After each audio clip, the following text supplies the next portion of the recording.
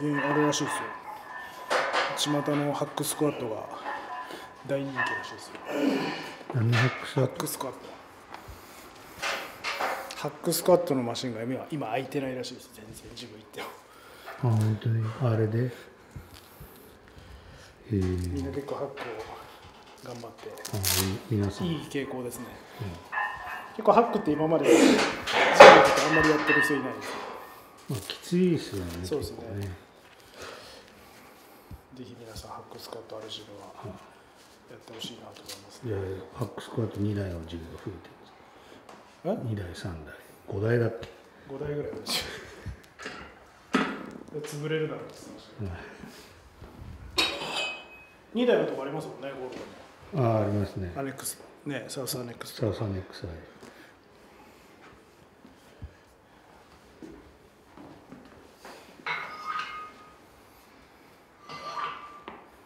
先週杉中君と2人でサウスアネックス行ったんですよ。えー、すごい。あセミナーやってたはいセミナーの後の土曜日に行ったんですけどすごいやっぱいいですねあそこは。あな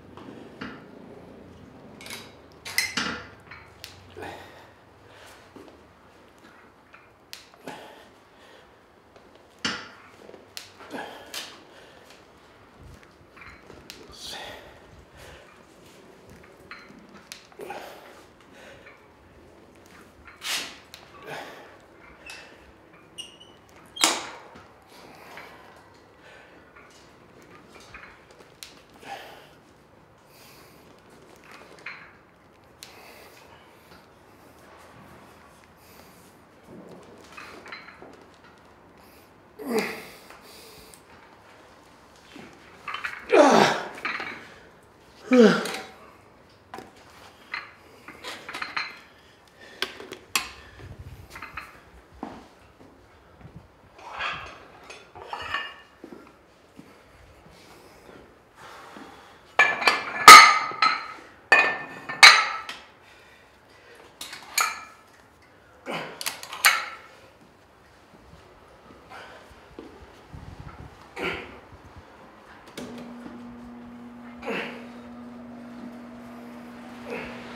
これをやる時の肘の開き具合っていうのは木澤選手結構開いてますけどあのぐらいが一番いいんですか？開きすぎず閉じすぎずって感じでやってますよ僕は。結構あのあんまり開くとこう上げるときにプレスの動きになっちゃうじゃないですか。あくまでこう肘の曲げ伸ばしっていうイメージでこうこういうふうにプレスにならないようにしっかりエクステンションっていう動きでやるようにはしてます。なんかあの一番こう肘を肘っていうか伸ばしてっていうのだと肘もっと寄せた方がなんかの伸びるようなイメージがあります。ああ上等は伸びますねただ三頭筋全体のなんかこうパワー発揮とか考えるとそこまでガチガチに肘こうこんなふうに締めてやる必要は特にないかなと思います、うん。はい。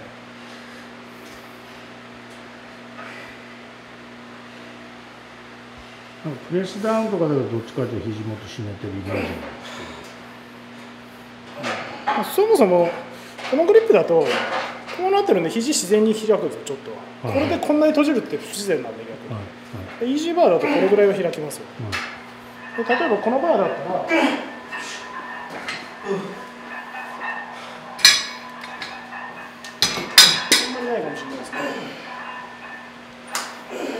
こうじゃないですかはいこれすごいはい肘閉じやすいです、はいはい。そのグリップの向きにもよります、あまあそのグリップに対して自然にある程度開くのか、まあ、これすごい力出ないですよすごい力が出ない出な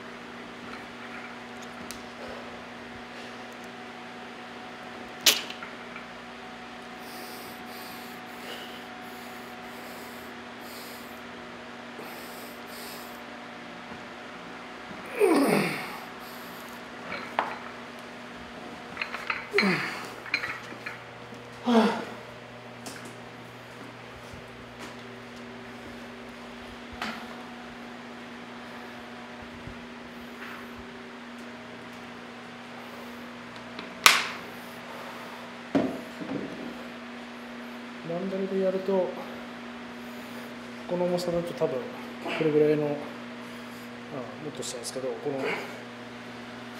厚みが出るんですよここに。はい。こうやって持って頭の後ろで。はい。そう後ろに行くじゃないですか。はい。すごい肘が。はい。これだと頭スルスル通せるんですよ、はいはいはいはい。それがすごいこれは。あダイレクトにストレッチがこう縦に入りやすいですよね。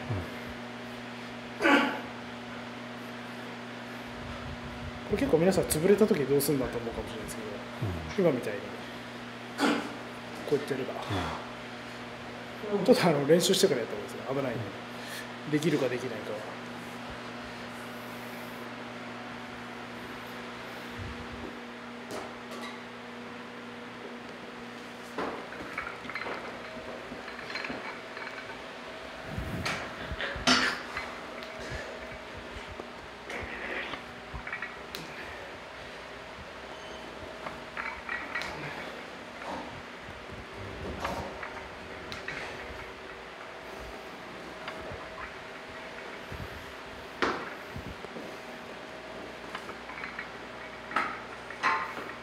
Mm.